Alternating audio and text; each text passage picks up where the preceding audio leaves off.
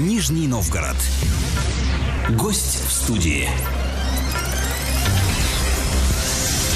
15 часов 40 минут в Нижнем Новгороде. Я Татьяна Мальцева. Приветствую всех, кто настроен на 99,5 FM. Эм. Сегодня у нас в студии человек-легенда, бронзовый призер Лондонской Олимпиады 2012, баскетболист Семен Антонов. Семен, добрый день.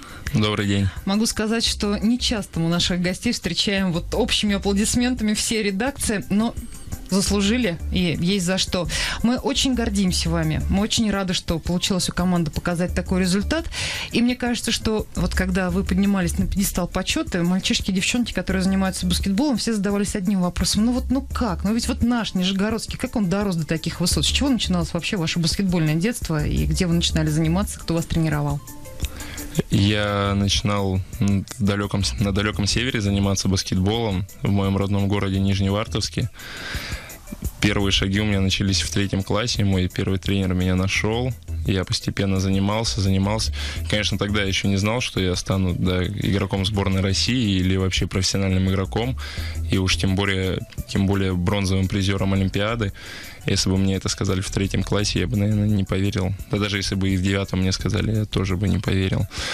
Потом случился переезд в Москву. В 16 лет я начал играть за московское «Динамо», выступал, потом переезд в Саратов, в Саратове три года выступал, и вот так потихоньку дошел до Нижнего Новгорода, где уже обосновался, можно сказать, окончательно, получил нижегородскую прописку, уже два года выступаю за Нижний Новгород, и у меня еще контракт на два года, поэтому я никуда отсюда не хочу уезжать и очень люблю этот город. Ваше ощущение, когда вы поняли, что вы вошли в состав олимпийской сборной? Сказали, ну все, Антонов, пакуй чемодана, Лондон тебя ждет.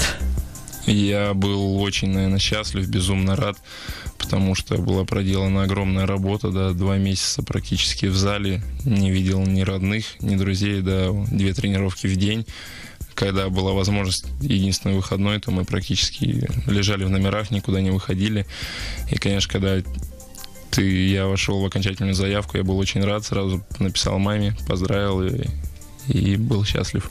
Семен, ну вот а, по вашим личным ощущениям, оно того стоит? Вот такие ограничения, отсутствие личной жизни, я уж не говорю там про какие-то развлечения, да, послабления режиму и так далее. Вот оно стоит медали олимпийской? А, да, эта медаль перекрывает все, весь пот, что мы оставляем в зале, всю кровь, да, то, что мы не видим родных, близких, то, что лично я бываю на своей родине раз в год, и то 3-4 дня, то есть практически не вижу родителей. Хорошо, что Сейчас технологии дошли, есть скайп, можно, да... Хоть посмотреть, да? Посмотреть, да, на родителей, хоть повидаться немножко. Но это того стоит, я выбрал этот путь, да, это моя работа, теперь моя жизнь, я не хочу с него уходить, сворачивать, и хочу продолжать заниматься любимым делом. Когда вы говорите, это моя жизнь, э, уж, может быть, вам-то точно рано такой вопрос задавать, но рано или поздно он станет и перед вами. Кончится спортивная карьера, ваше будущее, оно тоже будет связано с баскетболом? Не знаю, как сложится, да, но думаю, что да, скорее всего, я или останусь где-нибудь в клубе, может быть, тренером, да, или агентом, или скаутом. Но хочу оставаться в баскетболе, да, не уходить куда-то в другую. Конечно, есть мечта, да, там, может быть, за игровую карьеру подзаработать денег и открыть, может быть, какой-то свой бизнес, да, чтобы хоть что-то было за спиной, потому что многие заканчивают в 30, да, в 32 года и не знают, где себя найти, если уходят из спорта, не остаются именно в системе какого-то клуба работать то очень тяжело найти себя. Ну, с другой стороны, можно предположить, что будет у нас тренер сборной Семен Антонов. Почему нет? Хорошо звучит. Но это еще э, будущее. Давайте заглянем все-таки в недалекое прошлое. Ваше впечатление от Олимпиады именно вот со стороны спортсмена. Как вам жилось в Олимпийской деревне? Чем занимались в перерывах между матчами? Каково вообще было настроение в команде? Ведь вы поехали на Олимпиаду, э, всем понятно ощущение болельщиков. Баскетболисты, ну, а каких успехов ждать от баскетболистов? Да, не делали на вас ставки, но это вот честно. А вас настраивали на что? На победу? И вот с каким настроением вы приехали в Лондон? Конечно, мы летели туда с одной целью побеждать. Ну, не прям. Ну, конечно, у нас была мечта, да, взять медаль, но основная задача была побеждать в каждом матче. И задача минимум была выходить из группы в четвертьфинал. И постепенно мы набирали, наверное, с каждой игрой, с каждой победой уверенность в своих силах. И, как говорится, аппетит приходит во время еды. И, наверное, во время Олимпиады у нас пришел такой аппетит, что именно завоевать медаль. когда прошли четвертьфинал, то мы уже поняли, что у нас есть две игры, чтобы завоевать одну медаль любого достоинства, неважно, бронза это или золото. Мы все это прекрасно понимали и отдали все силы, чтобы ее завоевать. Редкий случай, когда фраза «отдали все силы» даже пафосом не отдает. Ну, потому что реально отдали все силы. И все-таки я вернусь к вопросу, который, наверное, болельщикам интересен. Комфортно ли вам было жить в Олимпийской деревне в Лондонской? Да, мне очень понравилась Олимпийская деревня. Это не передать словами всю эту атмосферу, когда спортсмены с разных стран мира ходят, да, с тобой общаются, при, все приветливые, даже несмотря на то, что кто-то, допустим, сегодня проиграл, а другой победил, все общаются, обмениваются какими-то значками. Ну, лично баскетболисты, многих ребят знаем из других стран, да, потому что многие играют в чемпионатах, в чемпионате России. Стояли, болтали, обсуждали, кто как сыграл, как, как, кто какую тактику подобрал к следующему сопернику. Но мы, конечно, свои козыри не раскрывали, мы, наоборот, обманывали всех. По поводу тактики, сразу, как человек много лет занимаешься баскетболом, хочу спросить, почему вот сейчас, в наше время, в баскетбольных матчах порой иногда такой маленький счет. Разучились забивать? Нет, конечно, забивать все умеют, да, любой может забить, любая команда может забить 100 очков, да, но не каждая команда сможет позволить забить 60 или 65 очков. Баскетбол стал очень современный, да, наверное, все понимают, что в нападении может не пойти, да, у лидеров и все. Тогда что делать? Приходят, все защищаются команды. Ну, кроме, наверное, сборной США, которая выходит и всем забивает по 130-140 очков, и им не нужна защита. Это потому, что у НБА такая тактика игры? Я думаю, что да. Ну и, если честно, мне кажется, Америка пока на две головы сильнее всех вообще в мире. Нет у вас в каких-то таких потайных мечтах сыграть за НБА? Конечно, есть. Это, наверное, мечта любого профессионального баскетболиста попробовать свои силы там хотя бы один сезон, ну, посмотреть, побывать, повариться в этой кухне, да, узнать, как это вообще играть в сильнейшей лиге мира. И я думаю, там колоссальный опыт, когда ты играешь с лучшими игроками, да, планеты в одной лиге. Это бесценный опыт.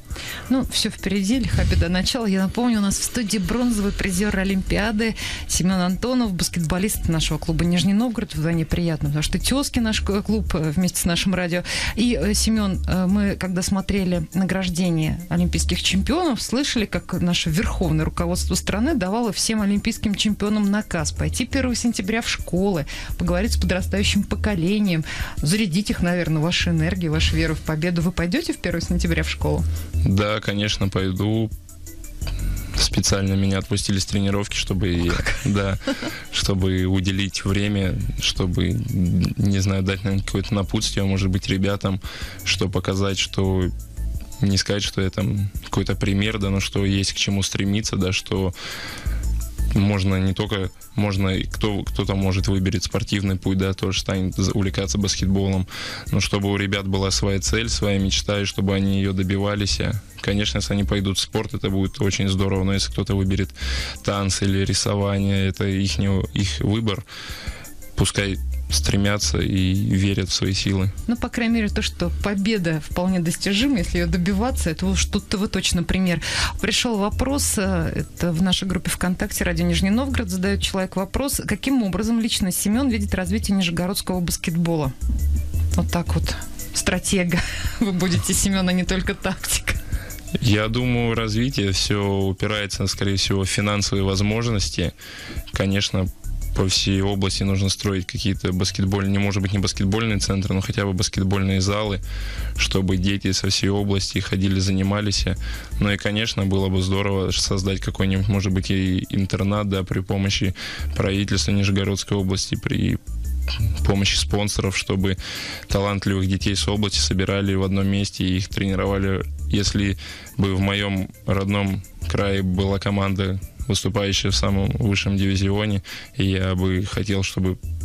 Ну, я бы хотел играть в своей родной команде себя на родине для своих зрителей, для своих родителей. Э, про высший дивизион заговорили. Какие ближайшие планы у баскетбольного клуба Нижний Новгород? Мы сейчас проходим подго- подготовку к сезону, тренируемся. Еще отсутствует несколько игроков, которые выступают за свои сборные на квалификации к чемпионату Европы в следующем году. Буквально через неделю мы уезжаем на трехнедельный сбор, где будет много товарищеских матчей, спаррингов, в которых мы проверим свои силы, сыграемся. И приходите, болейте за нас, нам нужна ваша поддержка. Теперь уже не просто с удовольствием, а с огромным удовольствием, я бы сказала. Спасибо вам большое. Мы еще раз вам, вас поздравляем. И еще раз от имени всего коллектива «Радио Нижний Новгород» я хочу сказать, насколько мы вами гордимся. И вот то удовольствие, которое мы получали, следя за вашей игрой, оно дорогого стоит. Все ваши труды не зря. По крайней мере, э, миллионы людей действительно радовались этому. Так держать. И ждем следующей Олимпиады, чтобы поздравлять уже с золотыми медалями. Спасибо большое. Спасибо. Напомню, в гостях в нашей студии был бронзовый призер Лондонской Олимпиады 2012, баскетболист Семен Антонов. Удачи вам!